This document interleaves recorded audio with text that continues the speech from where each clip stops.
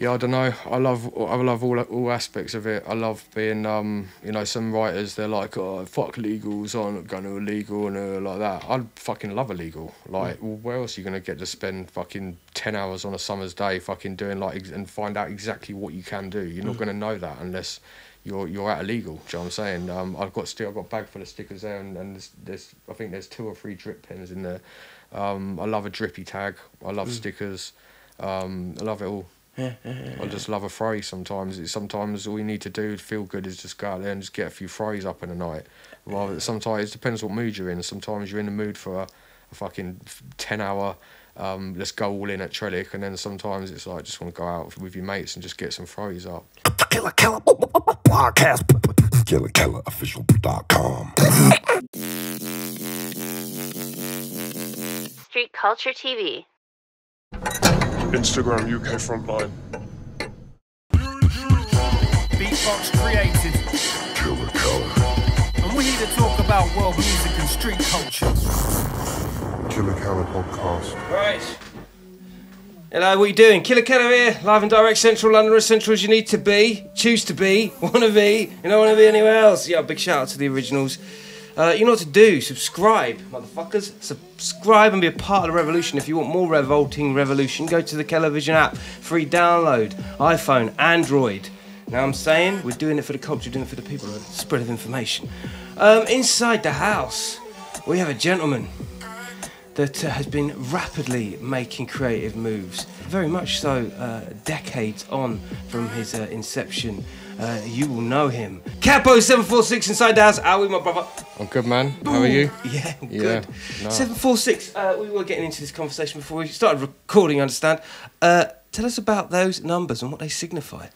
So um yeah, back in the day when I first started writing and stuff, it's like uh, obviously we you know it's been said on here many times about subway art and spray can art and all those kind of things. But I remember looking through like through um subway art and seeing a writer called Taki One Eight Three, and like um so me and my kind of mates when we were young, uh, just starting out, it's like yeah we need a number.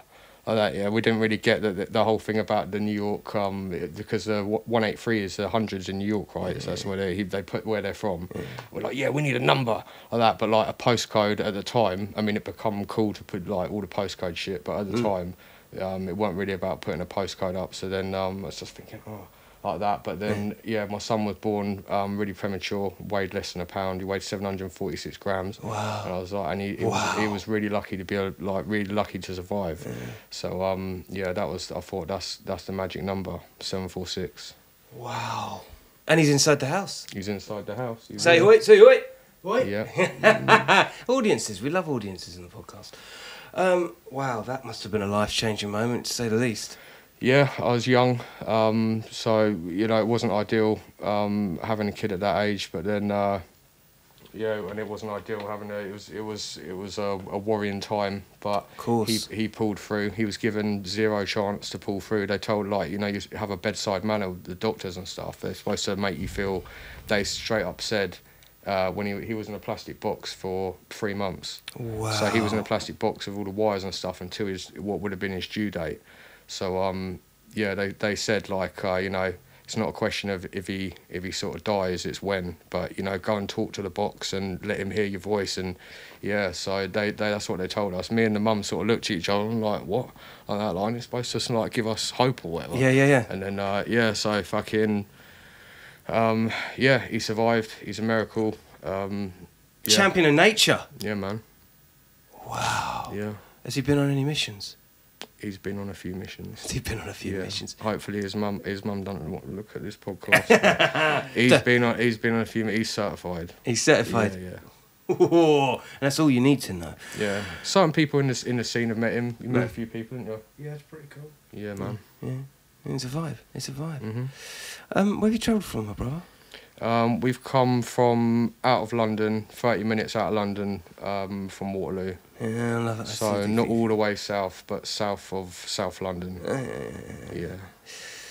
Man, it's great when an influence comes into the city and brings such a, a plethora of colour and new style. And, you know, looking at, and I said at the top of the show, you know, the progress over the last maybe three years, four years. You see it with you, Kapo. You know the character is popping up a hell of a lot more. The way you're delivering the lettering, the the the use of um, illustrative characters combined with you know there's some space between the letters. There's things moving, and it, and sometimes it, it can often feel like it's merging with what's already existing on the wall. Do you get what I'm saying? Yeah, yeah. This is this this is some thought through shit that that for me watching your progress, uh, you know, it's it's delivering in a whole different way compared to other people in London. Yeah, I mean, um, uh, to be honest, mate, like uh, I just, like I mentioned earlier, I think I- I've never been diagnosed. I think I've got ADHD, and I just got so many ideas. Um, sometimes I go with a plan and then just kind of adapt on them there, kind of thing. Mm. Just freestyle. Really? Yeah, a lot of it is freestyle. What I do.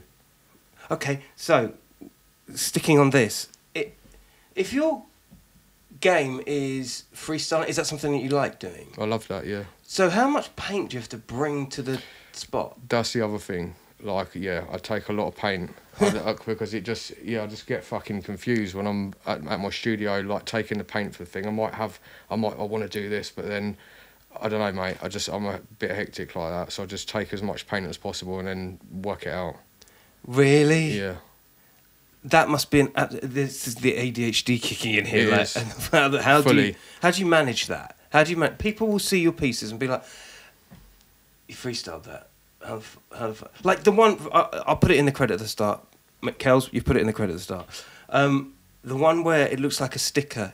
You've done it in Trellick, and it looks like you've actually it's actually pulling away from the wall. Oh yeah, yeah. That was a couple of weeks ago. Yeah. Um, yeah. So that one was this the sort of uh, if if you took this the thing is of a sticker effect. It like I've been working on a sticker effect for a couple of years, and the thing of a sticker effect is you can do like if you took the sticker effect away from that that dub like doubles shit really, but because it had the sticker effect around it, it kind of in it doesn't really matter what you've got on the sticker.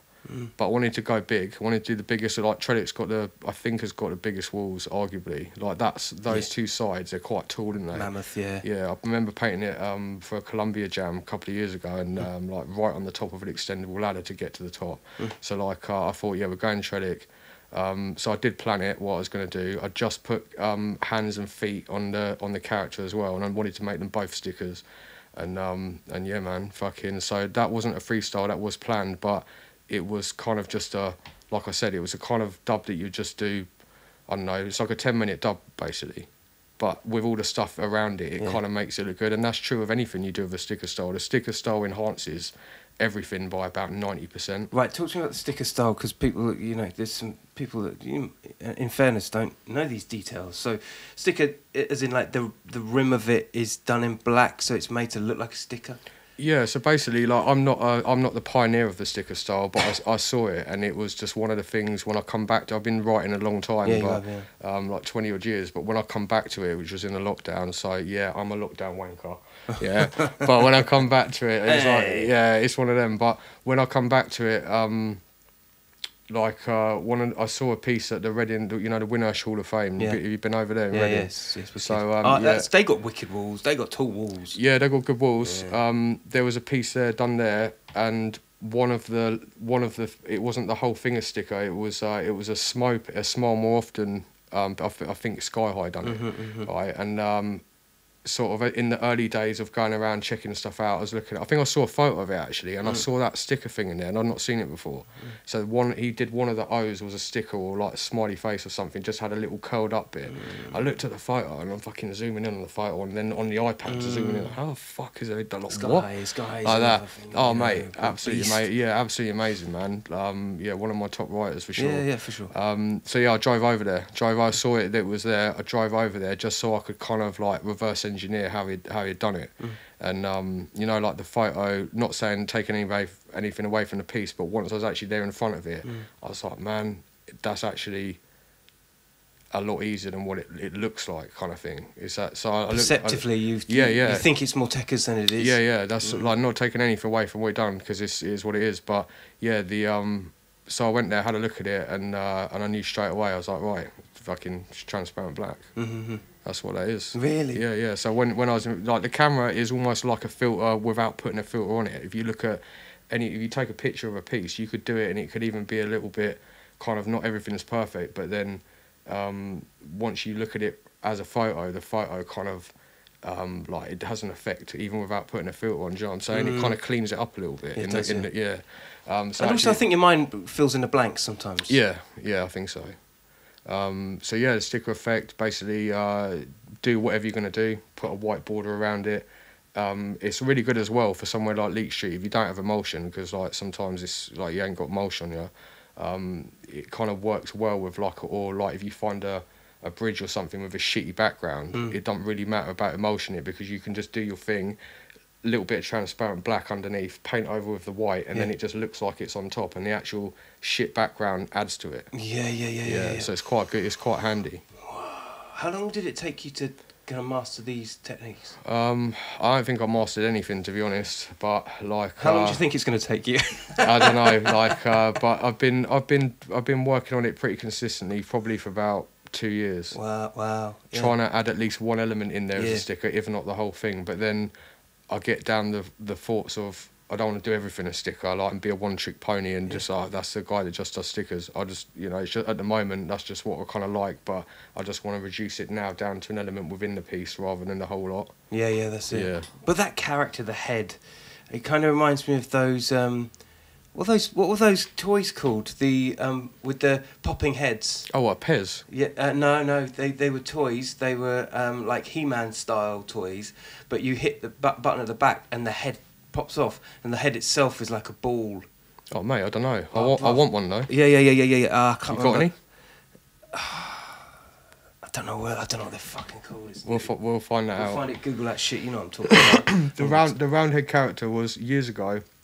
Um, like the people that I used to paint with, I had I was sort of um, there's not a big graffiti culture where I'm from, but I did have a friend who come from somewhere where there was a graffiti culture. So he come from Southend in Essex, which had like a graph scene. So th- I'm talking when we're 13, 14 kind of times, Yeah. 12, 13 is when I first got into it, and um, so he used to go and live with his dad at the weekends. So big up, um, big up Jeff, J E F. Uh, later, Oh, ch- later turned to Wrecker, I think, if I remember correctly. It's been a long time, so I don't really chat to him now. But if he ever watches this, like, big yourself up kind of thing. Wrecker. But he used to, sc- yeah, he used to school me in actually how to, how to actually do letter structure. And, and I remember him, the first like lesson he gave me was like, you have to imagine every. This is like thirteen year old talk, Mm. but he said like, imagine everything's a ribbon to do like the straight letters. He said like, you don't want to, you want to have the proportions and everything. So he's teaching me that. But when we first started going out and stuff, obviously there's a lot of tagging, a lot of bombing and scratching, and we used to go B and Q and um, nick the angle grind, not nick by the. Uh, I've never nicked anything. Never like, nicked from no, I've never nicked anything from B and Q, and you shouldn't either. Yeah, thank you. Do not condone any of this. It's just a little story. Unless you don't have any money. Yeah. Right? but then, um, so being 13, you haven't really got money to buy sanding discs or whatever the fuck they are. But they're basically like, you know, the discs that go on the angle grinders. Yeah. So we used to nick them. We used to. We used to them. get we used to get them, and then we used to break them up. Say four of us, we would try and break them into four, and then we'd have a scratcher. So we used to go around scratching and everything, like glass, everything. Um, but when it come to when we eventually progressed and it come to doing letters, um, I ain't gonna lie, I used to struggle. I used to struggle getting like um, my letters up fast. Like I used to really struggle, sort of age 14, 15. Mm. Um, so I just was thinking about it. I was thinking like I need something that just like people will know it's me, but it's quick to do and and and you're gonna know straight away kind of thing. So I kind of like took it to more of a. Um, so for me, it was my version of a throw up because I can do it really quick. Like Yeah. the, the quickest version of it is like if it's a hollow outline, it's like ten seconds, fifteen seconds. Really? Yeah, I've done a I've done a couple on the way here to be fair. Yeah. Um, but then uh, if it's like painted like one color, two color, around about forty five seconds, thirty seconds, forty five seconds. Been I've done a lot of them over the years. So it's been going twenty five years that that face. Um, but yeah, it was it was kind of. five years. But it was kind of um like uh, do you remember Onyx? Yeah. Like, or, or not remember not dude. not remember Onyx, No, but, but you know lo- that album yeah, cover with that big face yeah, in it. yeah. Like it was a bit of an influence from that, and then also London writers at the time, like uh, um, like Insa used to have like the teardrop thing that he used to do, but then he used to do the Insta tag when it was the eyebrows and That's stuff. right, that's So right. yeah, there was uh, I weren't trying to cat Insta, but um, Insa, but it was like that's where the um, and probably a bit of early ochre as well. You know, like he had the faces in his things like quite simply done, but they look cool. Yeah, yeah. So like I think that's where the inspiration come from, and that's I, I thought, you know what, I'm not even gonna do. Um, at that time, I'm not even gonna do letters. I'm just gonna do that face everywhere. Yeah. And then um, yeah, Like, um, oh, it's like bees. We got bees with his kind of character man. thing. Um, Tempo thirty three from Yeah. Birmingham. You know, the, with the acid face. yeah, Um, there's something that I I find I draw to with people that are able to be hella diverse with um, their approach to graph, whether it be putting characters in or doing stickers that physical stickers, uh, just I mean, embracing the whole culture as a you know. It's few and far between. I, I'm still not sure why that isn't embraced entirely by everybody. Do you know what I mean? Yeah. I don't know. I love I love all all aspects of it. I love being um, you know, some writers they're like, oh fuck legals, I'm not going to illegal and uh, like that. I fucking love illegal. Like, well, where else are you gonna get to spend fucking ten hours on a summer's day, fucking doing like ex- and find out exactly what you can do? You're not gonna know that unless. You're, you're at illegal. Do you know what I'm saying? Um, I've got still I've got a bag full of stickers there, and, and there's, there's I think there's two or three drip pens in there. Um, I love a drippy tag. I love stickers. Um, I love it all. I just love a phrase sometimes. It's sometimes all you need to do to feel good is just go out there and just get a few phrases up in the night. Rather, sometimes it depends what mood you're in. Sometimes you're in the mood for a, a fucking ten hour. Um, let's go all in at Trellick, and then sometimes it's like just want to go out with your mates and just get some phrases up. Yeah, yeah, and I can appreciate that that feeling of he has different kinds of adrenaline um, spikes, doesn't it? Yeah, I, for I. I, I love it when you get to a spot and because with Hall of Fames, and this has always been a running conversation on the podcast, often you got time. You got time to do something really great. I mean, Winnersh is a great example of a of a Hall of Fame that, that really holds true to its standards. oh yeah. Yeah, I mean, um, do you ever? Your your aim of the game is to better the environment that you're painting in, right? Yeah. Yeah, it, it's hard, isn't it, though, with, with some Hall of Fames because it's it's not reciprocated a lot with the other people that you know that balloon in that environment. yeah? Do you know what? Like with the Hall of Hall, Hall of Fame thing, I think it's been said on here before. I can't remember who said it, but I was like, cause I watched a few of these and um, I had one in the motor and that, and like someone said it, and I can't remember who it was, but they said like, and this is like, so when I was coming up, age that eight, was- there was like rules. Mm. There was there was these rules that kind of they ain't really about anymore. Um, and one of the things was if you go to Hall of Fame, you've got to you've got to burn absolutely burn the thing that you're doing, not in a disrespectful way, but like basically you turn up to Hall of Fame, you find the kind of weakest piece, and then if you're if you think that you know I'm gonna I can do better than that, then you go over that piece. But also as well, you have respect. You mulch out everything of that last piece. You don't use no shit from the previous one and add it into yours or nothing stupid like that. But you know, that happened to me f- uh, three weeks ago. Uh, not that I care, but uh, three weeks ago, Unigate. Uh, me and uh, Sense, big up Sense. Yeah, big up Um, sense. Yeah, we done a we done a piece down Unigate. It was actually my first time painting it. Um, gone down there, done a done a thing. Like, a couple of years later, a couple of weeks later, um, yeah, the character's still there, and they've like nicked a bit in that, and I'm thinking like, man, fucking these rules don't apply anymore. Yeah, yeah. No, I saw that piece down at Unigate. I I went down there for the first time. Yeah, it was banger. It was banger. I like that spot. It's great, isn't I like that spot, man. Yeah, yeah, yeah, yeah, yeah. I didn't realise how you don't realise how big it is, even from like the the photos and that. You don't realise actually how much walls there are to paint there, and you've got that big one at the end. It's bonkers. Yeah, That being said, that big up dice. i- i- If he was to have told me how you get in there in the first place, I definitely probably wouldn't have gone. that shit does just does not do me any favors. I'm just, yeah, you know that kind of you have to go across the wall. where you've got a guy Yeah. shimmy across a bit. yeah. I ain't no shimmy, shimmy, yeah, shimmy, yeah, shimmy. Nope. There's, my- a, there's an easier way than that. really? There's a really easy way. Oh, for fuck's Yeah. sake, stop it. There's an easy way. Really? I'm gonna tell you after. Yeah, I don't wanna, Yeah, yeah. don't bait it up. Yeah, there's yeah. a lot easier way than that. Really? I've been that way. The, the Tomb Raider way. Yeah, yeah, yeah. Tomb Raider, yeah. Not wanting to slip into that nasty fucking stream Yeah. or whatever it is. Yeah, but not yeah, there's, life. there's a lot easier way, mate. Is it? Yeah. Okay, that's good to know. That's good to know. How often do you go out painting? How regular? Um, I I try and paint regularly, but then um, I had like uh, I had a period at the beginning, beginning of this year where I had to slow it down just for for reasons. Okay. Um, and I had to slow it down, and it was doing me in because I was getting loads of messages, invites, you coming here to paint. Because I've got there's a lot of people that I paint with, different areas and stuff, and yeah, I had to decline loads of things um, just due to certain reasons and that. But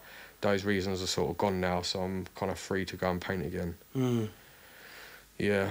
So um, yeah, I try to paint a lot. I mean, I might I, I make art every day. I'm a tattooist. Uh, uh, that's my job. Oh, by trade. Um, yeah. Right. and luckily I, I've I've got a, I own a studio that has some little. I mean, I did go mad. I made like the staircase look like Leake Street at one point, but then in the end I just cleaned it up, and you know this probably ain't. This looks cool for me, but probably not anyone that's coming Yeah, in. That's the problem. That is the problem. Yeah. I mean, you know, it, it, for those that have been in the pod trap, there's a lot of stuff in here, and stuff is good, but it's also telling of the kind of stuff immersing you the whole time, just Yeah. getting bigger, bigger, bigger, bigger. That's fun, but not for everyone, is it? No. Um, you know, when you get like a, a six-year-old sort of kind of posh lady coming in to get a tattoo, and then she's walking in front, seeing like you know, it's just, it's just not the it's not the look. I try and keep the two separated a little bit. Uh, it what for the customers? Just I just yeah I just try and keep it separated. There's a certain look to my studio. It's quite a big big studio. I've got a couple of um couple of really talented girls that work there with me. Nice. Um and like yeah I just just try and try and keep it nice in there. Like it's quite stylish and stuff and um it's not too graphy. But the walls are normally all mural. They've all been reset at the moment. Big up George, um, one of the girls, Meg's boyfriend. He's um like a really good uh, interior decorator, so he's reset everything in there. Mm. It's all black walls ready to go. Um, but it's had lo- it's had loads of stuff on there to be honest. I practiced some of the sticker effect in there. Did you? Yeah, so it's quite handy. But the other thing as well with painting this studio is like once you paint it in there, it needs a good kind of three or four days to air out, and you just get dust settling everywhere for about four days. Yeah, So something like yeah, I'd, I'd just try and paint it probably once or twice a year. How do you separate uh, the professional tattooist and the activities of graph? I mean, that's that's almost like you're moonlighting in the evening to, to paint. Yeah, I mean, luckily, uh, I've been like I did my first uh, like commission uh, spray can commission when I was sixteen. So from then, I've I've done like I've done loads. I've been pretty much doing them since I was sixteen. I mean, I'm I don't want to admit how old I am now, but I'm under fifty, over thirty, That's it, yeah. and uh, so mind your business. yeah. and, uh, yeah, so uh, I've been luckily I've, I've been managing to do tattoos and commissions um, for the last few years, and um, you know I've done the whole thing of uh, in the early days over order, over ordering the paint, so I got a massive collection of stuff that uh, was supposed to go on the commissions but didn't. But How many how many cans do on on average do? Because just going back to the amount you must be taking out the door per piece. How mu- how much minimum of paint do you have stored ready to to react with? What in my studio? Yeah. Um, I've got, I've got, I've got some. I've got a load of paint at home. In the studio, I've got two big racks of paint, spray paint. Um, put it this way, I bought five thousand pounds worth of Alfresco Dave in the lockdown. What? Yeah. And I was so I bought it. So in the lockdown, I don't know, like um, tattoo studios were the first to shut and uh, and the last to open.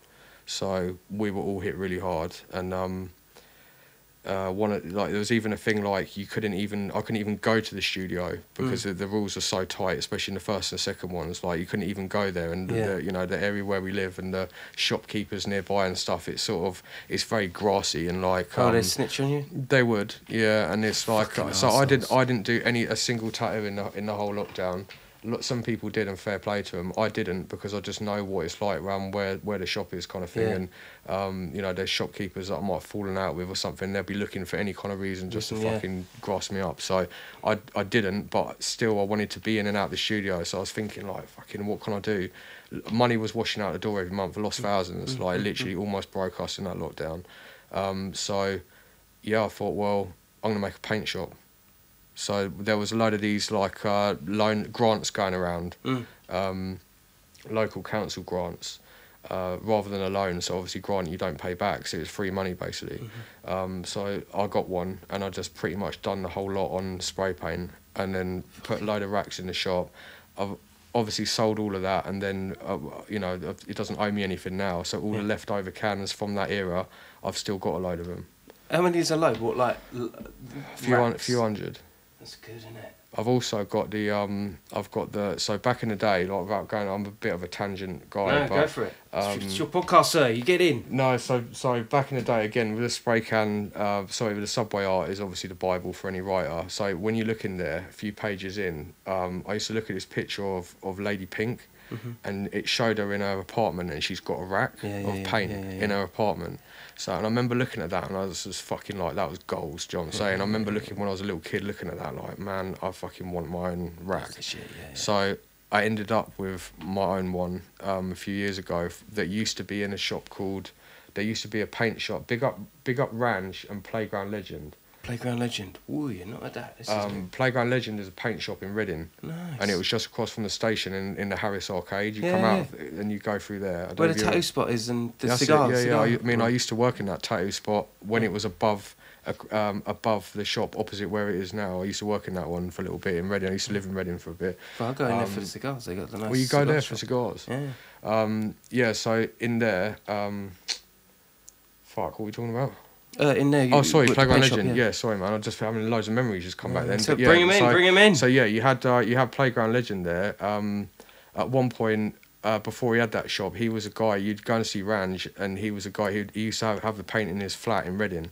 So um, I'm talking years ago. There wasn't kind of it was even before chrome and black kind of era, like where you could actually order paint online. There was only, I'm talking a long time ago, there weren't too many places you could get spray paint from. But there, you could get it off Range in Reading, or there was a place in Feltham. I don't know if it's been talked about on here, but there used to be like a car spare shop. Um, have you? Has this been brought up? No, bring it. There was a car spare. So there's a bit of a urban legend, but the, there was a car spare shop, and there was a guy in there that used to have Beltons, only Beltons, when Belton was good. Mm-hmm, mm-hmm. they still are good. Mm-hmm, I don't want to ruin a p- potential thing here, but no, fuck Belton, right? But um, yeah. So there was a car spare shop, and you used to go and see him, and the rumor was that that guy used to be a Chrome Angel, but I kind of never asked him. Ooh. Yeah. Who knows his paint? You know. Yeah, so I mean, it, he must have been for someone to have like graffiti paint, and it wasn't like on racks and stuff. It Mm. was in a back room, and you kind of had to ask him. There was Mm-hmm. an old lady that worked in there. That could have been his mum, I think. Someone said it was his mum. Him and she used to run the shop, and you kind of used to sort of like say like, "Yeah, can I get the like that?" Yeah, yeah, and she'd bring out the paint. Has that been brought up before? No. There you go, exclusives. Exclusive. Yeah, some Folklore. people people will know about that. People in in certain times, it was in Feltham, um, you know, not far from Unigate in the forties and that. They used car spare shop. That's uh, before um, UPS was there and that. That's where you used to get paint from. Um, uh, so yeah, I ended up with the with the actual. There used to be these um, paints that don't do anymore, but they were between a mini can and a 400. I think they were 250 mil can called Alien. Oh, okay. Do you remember them? A Montana Alien. No. Um, Oh. Yeah, I might do. Yeah, they That- weren't like the Montana ones now that uh Yeah. No, They- were more skinnier, right? they no they were a short fat can, but they weren't quite as much. I think it was a 300 mil. I I, think it remember was the 300 graphitism. I remember the the, the, the, Yeah. advertisement. Um, but yeah, they were sick. Yeah. They were sick. Uh, they don't make them anymore. I did have an old can. I've lost it, but I'm just for like a collection of old shit. But um, yeah, I've I've got a Montana Alien rack. It's like a curved rack. I don't think there's many of them um, about, but I've got the one from Playground Legend What? in in my shop. Yeah. And it's got bits of flecks of paint on it and stuff, and the, the label at the top is, is a bit. It's good condition. It's old, but it's a little bit battered. And I thought about restoring it, but then I thought, I don't know. I might just leave it how it was, how it Yeah. is, kind of thing. Yeah, because that's that's art in itself. It Just is, yeah. it- It's curved and then it's got holes in it, and it looks kind of, yeah, like yeah. When it's full up with paint, all the paints are sticking out at angles like that, going around. It's really cool. Yeah, well, that's cool. So do you, you don't sell the paint in your shop? So Uh, not anymore. No. I did. I sold a lot of paint. why not? Why why why is that? Um, well, one of the things is the area where it is. Like, if you're, the area ain't graphy, so Mm. it's like, and it just, it just weren't. It's just not worth it, really, Mm. kind of thing. And Yeah, because you'll go all I've got, I've got, yeah, I've got a lot of stuff going on. I'm really busy with, um, with a lot of projects and stuff, and especially every my day bread and butter, which is tattooing. Mm. So, like the uh, to sort of do that as well, it's, I'd have to employ someone to do it, and then there's just a lot of hassle with it. So I just like, um, you know, if, and also as well, I was only really selling to a few people, and it was just chromes, blacks. Yeah, hence why you've got all the stock. Yeah, so it's like, um, but yeah, so I, I made my money out of it. I made a load of paint out of it, and it doesn't owe me anything anymore. And it's just handy for commission. So that with all the stuff I've got off commissions, yeah, I've got quite a lot of paint. Yeah, I don't doubt that. Yeah. Um, kleptomaniacs are graffiti writers. They like to collect things, most random of things, from you know like tattoo guns to comic books to you know old you know um, defunct spray cans to. Yeah. I mean, you must have an, a of different collect. What's your most What's the most treasured collectible that a lot of people would be like, yeah, Probably my tattoo machines. I've got some good tattoo machines. Oh, yeah. um, anyone that's into tattoos, I've got a machine that was actually meant for Kat Von D. I don't know if you've if you've Wow. heard of her personally. Yeah, of course, yeah. Um, she was like uh, she was a really big tattooist. She come to fame on Miami Ink. That's right. Um, but I actually tattooed a guy years ago when I was working in Reading. Um, a guy was called Jabs, but not the Jabs, uh, the, the writer Jabs, Yeah. uh, who was actually the writer Jabs was an early inspiration to be fair, because he's from Yeah. my area. Um, but not that Jabs. There's another guy. Um, he was a machine builder. I tattooed him. He didn't tell me he made machines or nothing, but he made these amazing like hand carved. He was one like sort of piece of metal, and he would carve it out of that. And he used to do kind of like biomechanical, bioorganic kind of frames. But he made a filigree. It was really each one is a bit of art, and um, he's amazing. This guy. I'm still on Facebook with him now. But he made one for Kat Von D, with, which was like a baroque filigree kind of frame because she does a lot of that kind of style. But um, he was taught he knew her and he was going to make her this frame, but then um, she got so big she stopped answering emails. Uh. So he was kind of like with this machine. I done the tattoo for him, and then he sent me a message after, really happy with the tattoo. Do you want this machine? It was supposed to be for Kat Von D. I was like, yeah. yes, please. Thank you very So yeah, I got, I got a got a decent machine collection, but they're all basically museum pieces now because his tattooing has moved from that. A lot of people still do use the old um, coil noisy machines, but um, me personally now, like when the wind changes, you've got to adjust your sails. Like I've gone to the wireless pens now. Yeah. With, Wireless with car- pens. yeah, wireless pens with cartridges. No way. So there's no long bar that goes that clips to the machine. Now everything, the spring and everything, is all within a cartridge. Just clips in the end, and uh, you know, back in the day, you wanted to do a tattoo, you would have to lay out different machines for different stuff with Yeah. different needles set up and different um, softnesses of the springs and stuff, the tensions of the springs. But now everything is literally, I can just have my different cartridges out. It's just game changing. Wow. No, no customers tripping wires up and knocking inks over or No. anything like that. It's literally I can just get the machine and just take the thing out, put another one in. Boom! I've gone from a liner to a shader. It's amazing, man. Wow, I didn't know the advancements on tattooing had just progressed like Yeah. seismically. That and the iPad is the biggest like thing for tattooing. It's just changed it. You know, like you can just. There's even apps now that if you get a realistic face, rather than spending five hours the night before, I did this for years. Mm.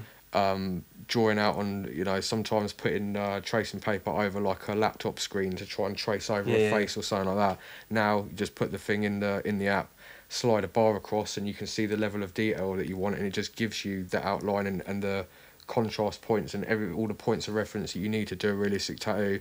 It's done in two seconds. So then that goes on the iPad into Procreate, print, and then now I've got a stencil printer that I can put the printed out bit of paper in, the stencil in another slot, press a button, 30, 20 seconds, and then it comes out ready to go. It's it's it's amazing, but I had to. I've been a tattooist for a long time. I've been tattooing since I'm younger than him. Yeah. So it's like, uh, yeah, I've, I've kind of. I was on the verge. Of, I started tattooing when all of those TV shows started coming out, and the advancement since then is just crazy. Crazy, and uh, where where something becomes easy for you, it also becomes easy for the competition and younger people and things like that. Do you do you think? I mean, it, and it still has re- relation with with graph because you know everything has moved fast. Yeah. Um, tattooing, especially in a creative field, is uh, a lot of it's for the gram. A lot of it's you know, but everyone wants a tattoo, and Yeah. and people that have not had all that decades of experience can suddenly just grab this, and it ain't it bad. It's, you know what I mean? This is this comment below. Is it good? Is it bad? What do you think? Um, I think it's good. Uh, I'm not like a, a gatekeeper in, in any way to do with anything. I just think that um, even though I'm from that kind of on the, I mean, some people would say it's old school now, but I was kind of um, working with and, and mentored by old school tattooists that, um, you know, they're not really many of them about anymore. But I think anything that makes anything easier for anybody is just a good thing, and um, people have got to do what they're going to do. Yeah. A lot of people don't like home tattooists. That's like a very old school mentality. Oh, you can't can't tattoo from home. You have to do it in a studio. Or the pin thing as well, you know. The Yeah, the hand poke. yeah. Yeah, So it's called the ham. hand poke. Yeah, okay. Yeah. Yeah, Um, but me to- personally, it's just like, mate, if you want to get into it, what's just just do your thing. Just do your thing. If that's if that's what you want to do, crack on. You know, like I say, the whole gatekeeper mentality, I'm not really for that. But also, there's something to be said about that experience that you have that you know takes a little while for other people to to garner, and um, experiences that you go through, you can always refer back to, right? Yeah, yeah, totally. Graph uh, very much has the same thing. You mentioned the lockdown before, um, and there was this resurgence of. Uh, uh, I particularly like the old school guys. The old school guys coming back was just like music. is fucking great. Yeah. Um, but yeah, that that really emphasised actually um, the importance of uh, progress within a scene. Like it was almost like it, it, it gave it a, a, a new boost of attention, um, whether the authorities liked it or not. Yeah, it's, it was a response, wasn't it? It was. Um, I mean, the way that the way that I looked at it was like, I mean, with the amount of fear and, and everything that went through the, um, come out around the time of the lockdown, with all the stuff we've been shown on the news and stuff. I mean, it was it was scary times. Um, and the way I looked at it was, well, if the world's gonna fucking end, then what does it matter if I just go and absolutely batter the place? So um, yeah, that's what I did. Um, yeah, man, fucking lockdown was was good for that. Like it was, and and also as well, I knew in that time that it was an era. Like when you're younger, sometimes you don't realise that the era that you're in is just a moment in time that's that's never going to be the same again. You don't really get that until you're a little bit older and more experienced. But in that lockdown time, I knew that this was a, this was an era. I knew era, this was a real era where you're going to get a lot of creativity and people coming out the woodwork and people that weren't doing it so much coming back and new people wanting to try it. I knew what it was like, almost like a the it's like a golden age of graph for mm. this time. What's it with the human psyche that doesn't understand that concept, living in the moment, an era defining thing? It's very easy to pass off as, you know, with all the, you know, hype and crazy shit that goes on throughout our days and lives and, you know, what the latest over the fence gossip is and getting all immersed in shit. It's like you forget to live in a moment, don't you? Yeah, man. Um, yeah, totally. Like I don't know what it is, but the older I get, the the quicker things are going, and it's like you just gotta you can't put nothing off. You just gotta do it, and it's like sometimes you gotta force yourself to do stuff and, and just get out there and, and, and create. You know, um, because a couple months go past, three months go past, four months, and before you know it, another year's gone past. I just yeah, I just think time's speeding up. I think it's that CERN experiment. I think that's what it is. The messing around with that CERN. I think So, they've uh, talk about the CERN experiment. They- so the thing. That I'm not familiar. I'm not, Okay, so on, there's, there's oh god, there's a thing. Uh, Heading down the rabbit hole. Never, uh, never described it before, but there's a there's uh, it was a throwaway comment, but the actual CERN thing is uh, the Hadron Collider where they're trying to recreate. Oh, the particles. The particle Yeah, accelerator yeah, yeah, where they're the smashing particles Yes, together. yes, yes, yes, yes. I you know. know, um, I just reckon we're you know it's saying like that. Fucking time's going quicker, man. Mm. Everyone is saying it. It might be. It could be. Uh, it could not be. well, you know, certain things have come to light today where technology is proving that uh, you know it it precedes life. What do you reckon the future of graph is? Like heat sensitive, you know, drones and crazy, tr- you know. Yeah, I mean, uh, big up T Bone by the way. Yeah. Um, on the way up here on the train, I was looking through uh, through the gram, um, trying to find actually the directions to here, and then uh, I saw a story, and it's about the T T Bone put up a a, si- a picture of a sign with saying about drones flying around with uh, heat sensitive infrared cameras on and stuff, and like, yeah, that's uh, that's really worrying. Yeah, yeah, yeah. That's crazy. Yeah, these missions have got to be quick now. Yeah, I guess so. Yeah. Uh, yeah, or you got to be a good aim, a good shooter. Yeah, man. or we, we've got to develop some kind of ghetto budget um, anti-heat signature clothing. Yeah, yeah. Maybe we do that. Maybe if we if we all go in like uh, climb in the fridge an hour before we go out. Yeah. I don't know, man. But yeah, that's uh, it's worrying. Yeah, yeah, yeah, yeah. Only, only do riversides. That's what it is. Yeah. Stay in the water.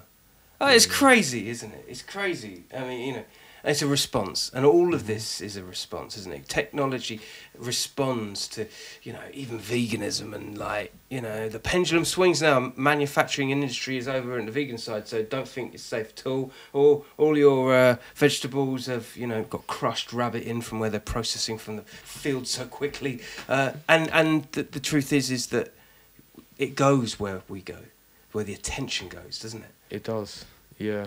No, that's interesting that veganism thing. Cause I did hear saying about the uh, there's loads of things like that, like um, counter things to it, like the indiscriminate killing of all these different kind of species of, of mammals, but when they're trying to harvest crops and stuff, I mean, Yeah. it's just just does your head in, doesn't it? There's just so much stuff out there like that. Well, there's also it's controlled propaganda because it's designed. I mean, even the the heat sensitive, it could just all be a facade. It Just it could just all be a little, little story, like a lot of these illegal conversations on this podcast. You understand? But there is this, there's this, there's a side to it where you're like, if if the ve if the ve- if the vegan industry are doing well, then surely the meat industry is the one prop- propagating that, propagating that th- this kind of negative. Do you know what I'm saying? Yeah, listen, I'm all for what anyone wants to eat. Yeah, do what you whatever- want. Yeah, whatever the the you know, however they want to formulate their turds is like completely up to them.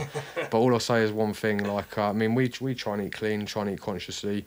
Um, I've been vegan before.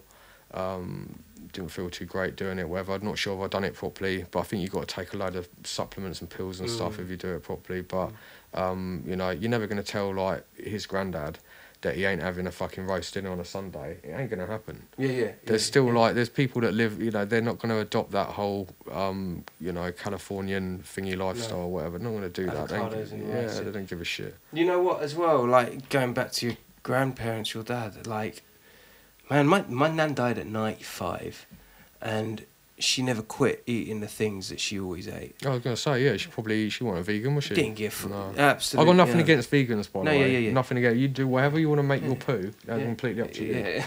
that's, seriously. that's the quote. That's the quote man. of the podcast. yeah that's a clip at the beginning Yeah, that's right. That's it.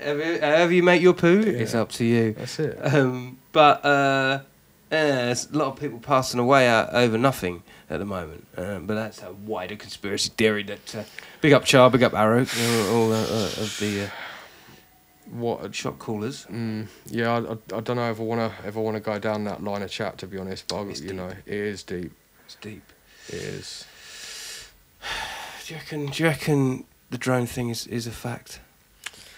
I reckon it probably is. It's not going to cost them a lot to do it. Um, I mean, you can get a pretty sick drone now. I don't have one, but I've seen them for sale. You can a couple hundred quid. You can get one with like a better camera than an iPhone Mm. for two hundred quid. Mm. So it's like they probably have got them. Mm. I'd imagine they have. I'd Flying like to, over electrics, though, that's the Hmm. only thing. That's not, you know, the, the biggest case in point was a friend of mine was had a drone and was flying it over King's Cross. right. Oh, he got himself into a hole. In fact, it actually deactivated itself. Really? Wow. Now I'm just thinking that if they can go up pretty high, if they're just sat up there 200 meters in the air, they don't really have to be above the thing itself, but they they can kind of take in like a, an area. Yeah. Then yeah, maybe they can. But to be honest, mate, like you know, just thought about it today. I haven't really deeped it too much, yeah. but Well, we'll let them do that. We'll let them deep it out there. yeah, that's it. Yeah, I mean, this is fresh intel, you understand? Yeah, fuck the drones, man. Yeah. Yeah, What's the future, my brother? What's the future for you? maybe inventing a graph drone. That could be the future. Oh, yeah, it's gonna be drone graph wars. Yeah, maybe we if, if we maybe we could send up counter drones to fuck their drones up. That could be the future. That might be what I work on this afternoon. an, an anti-drone drone. Um, no, future for me is uh, me and me and my son. We we're working on a graphic novel. Wow. Um, well, I've been working on it for the last three years. He wrote it. I'm illustrating it. Um, it's just turned. It's turned a few corners, but it's just turned a massive corner literally in the last week, where the format inside of it now it's looking proper. wow. Yeah. Any storyline or plot to indulge? Yeah. So there's two. There's a short version and there's a there's a really quick version what it's about and there's a slightly more in depth explanation. The quick version is would be the keywords of 1800s mountains, mushrooms, spirit spiritual afterlife, bounty hunters, pirates, murder, redemption. I love a bit of redemption. Wow, wow. Yeah. So um, yeah, it follows a, uh, a character called Slade Coulter, who's uh, like a mountain man, um, bounty hunter character, ex-soldier. It's set in the in the late sort of 1870s um, in America. Um, he gets into, into an altercation at the beginning of the, of the story. Um, it's a long story, going to be uh, released over a few issues. So we're just coming to the end of issue one at the moment. Um, yeah, so he uh, he gets in a in a fight in a bar. It's got a lot of tropes from westerns and things like that. There's a lot of like uh, familiar things in it. Um, so th- there's a bar fight. There's a horse chase. There's um, bounty hunters. There's all this kind of stuff. But basically, he gets the short the short story of it is he gets into a fight um, for reasons kills three people, connected people, flees over the border into Canada, and then lives his life because he's that kind of guy anyway. He's a bounty hunter, hunter kind of character. He disappears into the mountains and sort of lives off the land in the in the most uh, harshest terrain where no one is going to find him. Basically, um, during that time, he has a he has a hunting accident.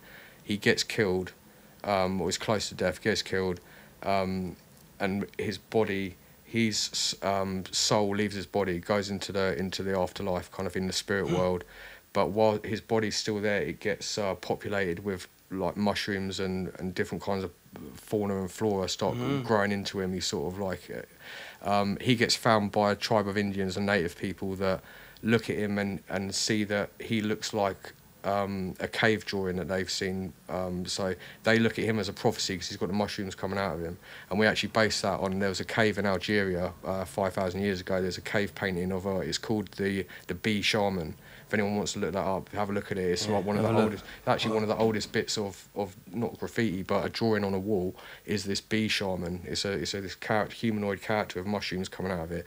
So they see him there um, with the mushrooms growing out of him. They all look at each other like that's the that's the the prophesized yeah, thing yeah. we in our in our mythology kind of thing. So then they take him with him, take him uh, his body with them, nurse him back to health, um, and start sort of teaching him about spirituality and, and the afterlife and according to their traditions, which is based on like some experiences I had going to Peru to I don't know if you heard of ayahuasca. Yeah, of course. yeah. Um, yeah, so I've done a few, I've done a few ayahuasca ceremonies in South America um, back in the day.